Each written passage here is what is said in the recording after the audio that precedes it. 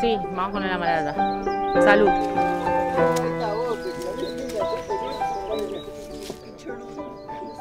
The secret is this difference of temperature between, between day and night.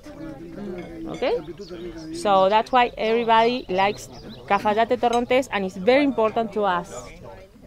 Then when you taste the Torrontés, it should be a fresh wine with a nice, nice acidity, but the main thing is always going to be the uh, aromas. In another climate, like in another parts of Argentina, they usually lose this aroma because uh, they are aromas, they are chemical compounds that are very sensible to heat and they are very sensible to high temperatures. At night, the plant usually breathes breath and the, the, the, those aromas are too delicate and they disappear.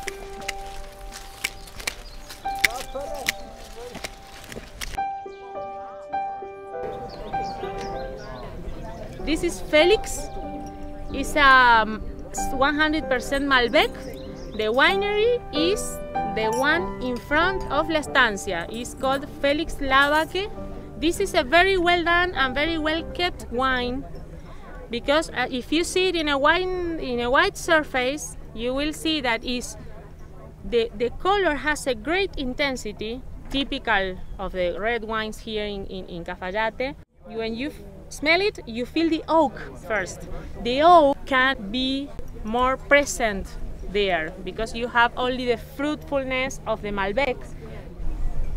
Then when you taste it, I think, in my opinion, this wine needs one more year in the bottle.